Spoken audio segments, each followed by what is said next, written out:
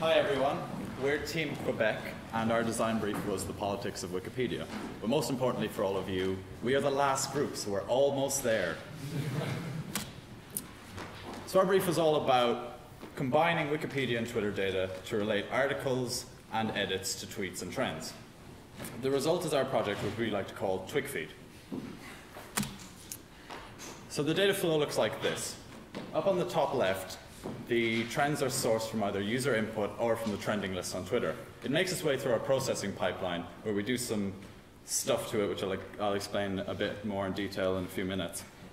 And then it makes its way through and is presented to the user in the web UI over there.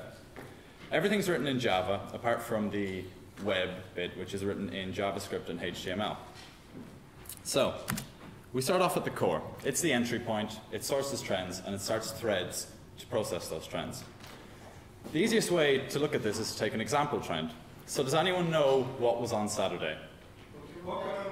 Yes, people who definitely aren't in my group. it was Pokemon Day. So naturally, hashtag gotta catch 'em all was trending. Let's follow that and see what happens to it as we go through. Its first stop after the core is the Twitter processing module. This module fetches a sample of tweets from that trend and tries to analyze the content to pick out concepts that we can use to identify Wikipedia articles. So what happens to our example? Well, it realizes, hey, a lot of people are tweeting about this Pokemon thing when they tweet this hashtag. It adds that to the list of concepts along with some other stuff, gets us some sample of tweets that we can display later, and then passes it along to the Wikipedia processing module. And this is akin to the Twitter processing module, except for Wikipedia articles. So it uses this concept list to try and find related articles. So we'd hope that this module would go, hey, Pokemon, there's a Pokemon Wikipedia article, I'm going to add that to my results list. So it does this for all of the concepts and gets us articles and edits that we can view. And then finally, it passes it along to the database and UI modules.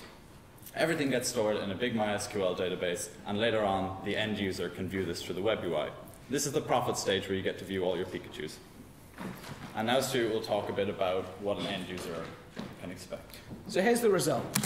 This is our web-based user interface. On the left, you'll see a list of trends for a specified location. Here it's Australia. These can be sorted. The user has then selected the Gotta Catch 'Em All trend that Richard was just speaking about. Then, on the right, you'll see a list of Wikipedia articles that we have deemed related to this trend. These can also be sorted by various parameters. The user has then selected Pokemon. Then in the centre, the article is displayed for the user to read. The user can also browse Wikipedia as if they were on the website itself, but stay within the application.